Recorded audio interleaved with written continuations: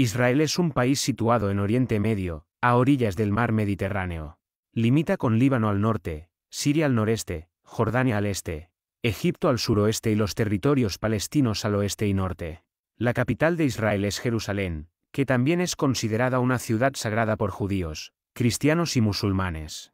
Israel tiene una población de más de 9 millones de personas, de los cuales aproximadamente el 74% son judíos. Los otros grupos étnicos principales son árabes, drusos y samaritanos. El hebreo y el árabe son los idiomas oficiales. Israel es un país desarrollado con una economía fuerte y líder mundial en muchos campos, incluyendo tecnología, medicina y agricultura. Es un país pequeño, con una superficie de alrededor de 22.072 kilómetros cuadrados.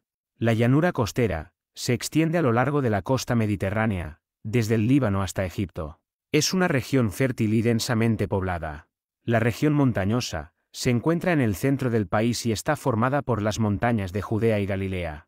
Es una región de gran importancia histórica y religiosa. El desierto del Negev se encuentra en el sur del país y es una región árida y escasamente poblada.